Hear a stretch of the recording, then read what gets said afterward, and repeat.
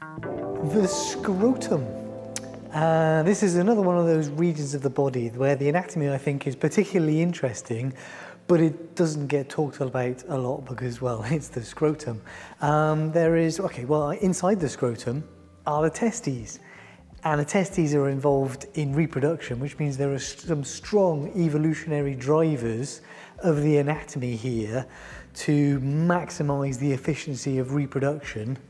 Uh, so one of the main jobs of the scrotum is to, well, temperature management of the testes, which is important for spermatogenesis, so to bring the testes closer to or further away from the body. Anyway, the scrotum is made up of a lot of layers. It gets very confusing. Why is it made of so many layers? And does this cause any problems? Yes, it does. We'll look at all of that.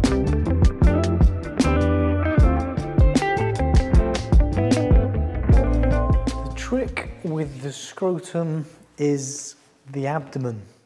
Um, so the testes, or both sets of gonads, ovaries and testes, they start to form in the posterior abdominal wall back there, right?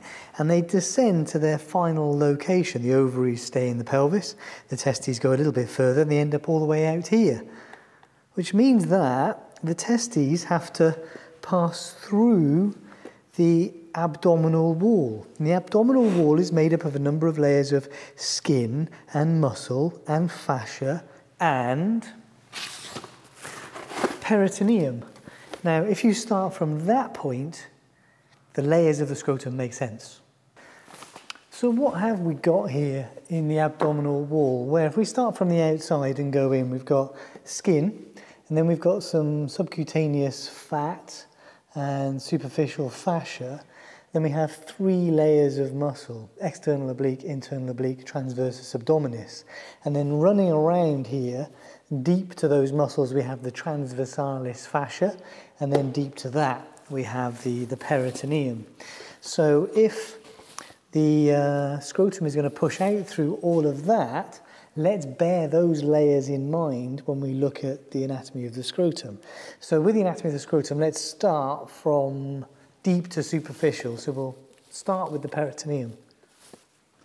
Now the testis itself, um, what we can really see here is we can see the tunica albuginea, Tunic refers to the coat. Albuginea uh, means white. Al, like the egg white is albumin, right? So the white coat of the testis is the tunica albuginea, and that's the connective tissue that's giving it that oval shape and giving the testis structure. So that's testis. Now the next layer, um, so the reason I keep grabbing uh, cling film is because this is representing a serous membrane. So inside the abdominal cavity there is peritoneum, that's this serous membrane, and the peritoneum lines the inside of the abdominal cavity and it goes over the viscera. So we have a uh, parietal peritoneum lining the walls and a visceral peritoneum covering the viscera. And there's a little bit of fluid in between those two layers that lets everything move nice and easily. And we see the same thing with the lungs, the pleura, and we see the same thing with the heart, the pericardium, and we see the same thing in the scrotum. Now, what really happens here, it, it isn't that the, the testes push out through the peritoneum. It's a little bit more than that, but um, the peritoneum does get pulled out with the testes into the scrotum. And the layer so the first layer of the scrotum, the deepest layer of the scrotum, the layer that's next to the tunica albuginea of the testis is the tunica vaginalis. Seems to be a bit of a confusing word when we're talking about the male reproductive system. Um, so vagina means like an exvagination or an invagination. So if you have peritoneum um, lining the abdominal wall and something pokes into it, you now have an exvagination right? Now, if you make a coat from that exvagination, you're going to call this the tunica vaginalis. And, like the peritoneum and the pleura and the pericardium, it's going to form a double fold. So we have two layers of tunica vaginalis. One layer is next to the, the organ, the visceral layer. This layer, which is going to be up against the next layer of the scrotum, It's going to be up against the wall of the scrotum. Parietal refers to wall. This is the parietal layer of the tunica vaginalis. Um, so then just like the peritoneum and the pleura, we've got two layers of serous membrane with a potential space in between with a little bit of fluid there. And what that means is that the testis can move around freely within the scrotum. And that's what we find. However, that movement is limited because this is going to be difficult to explain, but the testis is attached to the, the visceral layer of the tunica vaginalis, right? And then there's got to be a fold, this because this is a single continuous layer. That's got to fold back at some point to make the parietal layer of the tunica vaginalis, which is then attached to the next layer, and the testis can then swing around because there's a potential space and a little bit of fluid between those two layers, right? But because you've got that fold around here, which is actually probably going to be posteriorly, that means how much the testis can actually rotate is going to be limited because of the fold of that pleural, of that, um, of that serous membrane. Does that make sense? And of course, the reason I'm doing this is because the testis is still attached to everything inside the abdomen. So its blood vessels, its nerves, the vas deferens, they're passing up here and through the abdominal wall. So at some point, you're going to have that configuration there. So tunica vaginalis is made up of two layers of this thin serous membrane. The visceral layer attaches to the testis and then folds back to make the parietal layer, which is attached to the next scrotal layer, which we'll talk about in a moment. There's a potential space with a little bit of fluid in between, which means the testis, testis can move around freely, but it's limited as to how far it can actually move around because of this fold and this attachment. There is also a little bit of an anchor down here.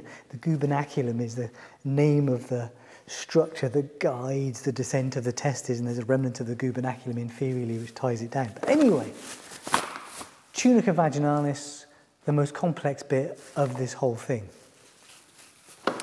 Just to add a bit more fun to that, um, if the posterior abdominal wall is covered by peritoneum, the testes actually start to form in the retroperitoneal area and they descend through the abdomen retroperitoneally and then kind of take a fold of peritoneum, a double fold of peritoneum with them when they go down to the scrotum. Anyway, that's more more confusing. The name of the of the um, the exvagination of peritoneum when that's all happening is called the processus vaginalis. Um, so as this goes out through the abdominal wall, there's like a a process of peritoneum because that's going to come back later. The next layer, so we've got the tunica albuginea, and then we have two layers of tunica vaginalis, which lets the testis swing around, and then we have the internal spermatic fascia. So that's what the that fascia. So fascia is a connective tissue sheet, right? It's quite tough. It's not very stretchy. It's a good structural layer. Um, that parietal layer of, of uh, tunica vaginalis is attached to that internal spermatic fascia layer. The internal spermatic fascia layer corresponds to the um, transversalis fascia. So in the abdomen you have the peritoneum, then you have the transversalis fascia. That's what we're seeing down here as well. And then you have uh, the cremaster muscle. So this is what we see here. So we have like that. You might see cremaster fascia, cremaster muscle, so this muscle here essentially corresponds to the internal oblique muscle layer. And you can see how, so this is the spermatic cord here, you can see how the spermatic, uh, you can see how the cremaster muscle extends all the way up there. Um, so the cremaster muscle is a uh, striated muscle, a somatic muscle. There's a little bit of debate about that. Recent evidence, I think, is pointing towards some smooth muscle here, some autonomic stuff going on. But it doesn't really matter. Um, this is innervated by the genitofemoral nerve, the genital branch of the genitofemoral nerve, and it causes, you can see from the way the muscle fibers are oriented, the cremaster muscle pulls the testis closer to the body when it needs to increase in temperature uh, and that muscle relaxes and the testis can fall away from the body when the temperature needs to drop. So there's the cremaster muscle layer and then the next layer is another layer of fascia which is the external spermatic fascia. So that would be up, superficial to that, upon that. The external spermatic fascia is equivalent to the external oblique muscle and then on top of that the, um, the subcutaneous tissue of the skin, the subcutaneous fascia here, um, covers the external spermatic fascia, and that subcutaneous fascia in the testis has developed some smooth muscle. And this is the dartos muscle. We can't see that there, but if we had some skin, it's the, it's the layer just deep to the skin. And the dartos muscle, um, this smooth muscle attaches to the skin, and that's what causes the wrinkling of the, the scrotum. So the dartos muscle, being smooth muscle, is under autonomic innervation, so this is under autonomic control. Um, and again, it's to do with management of, of, of temperature. So if you have more surface area, you can lose more heat, so you can cool the tissue. If you have less surface area, uh, you lose less heat, so you maintain warmth. So the dartos muscle affects the surface area of the scrotum. So again, managing the temperature regulation of the testes. Very cool. And then on top of the dartos muscle, the next layer, the next superficial layer is the last layer. It's the skin. Now the skin covering the scrotum, um, there are some nerves that will innervate the anterior scrotum. So there are anterior scrotal nerves and posterior scrotal nerves. But here we have the ilioinguinal nerve, which comes from L1 and L2 spinal levels and curves around like that, and that will generally carry sensory innervation back from the anterior scrotum. Whereas down here underneath in the perineum, uh, so the major nerve that's innervating the penis and the perineum is the pudendal nerve, and the pudendal nerve will innervate the skin of the posterior scrotum. The posterior femoral cutaneous nerve was probably going to get involved as well. But so with the scrotum, it's interesting to have those ideas of nerves coming from two different directions, pudendal posteriorly, ilioinguinal anteriorly. Because, you know, if you, well, I mean, if you needed to anaesthetize the scrotum, you're going to do it locally. But you know what I mean, it's, it's interesting anatomy. Uh, the blood supply then follows that as well because there, so the femoral artery is going to give off a deep external pudendal artery, which is going to supply blood to the scrotum. But the, the um, internal pudendal artery, which is coming out of the pelvis and is supplying blood to most of the perineum and the penis, the internal pudendal artery is also going to supply blood to the scrotum. The veins will generally match the artery, arterial supply. We can see some lymph nodes here. So these um, superficial inguinal lymph nodes, these are draining lymph from the scrotum.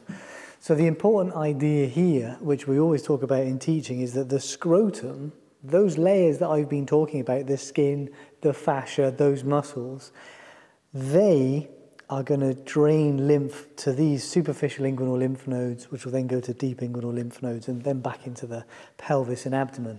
So for example, if a, a cancer formed in the scrotum, you might expect those cells to travel to these lymph nodes around here, whereas, of course, the testes formed in the abdomen descended to this position and they trail their blood vessels and their lymphatic vessels and their innervation along that pathway. So, testicular cancer doesn't typically spread to these nearby inguinal lymph nodes. Testicular cancer spreads to the uh, the para-aortic lymph nodes, the lymph nodes up there in the abdomen, which is uh, dangerous, right? Because you can't palpate those guys, but you can palpate these guys. So scrotum versus testis, it's a really, really important bit of anatomy, um, which is why we harp on about the embryology so much. Does the anatomy of the scrotum cause any problems? yes, of course it does. Um, so that tunica, that tunica vaginalis is a big problem. Um, whilst it's lovely to have your testes swinging around in your scrotum, um, because you've got this uh, double layered serous membrane with that potential space inside, more fluid can develop in that space than normal for whatever reason. There are lots of reasons why more fluid might develop in that space between the layers of the tunica vaginalis.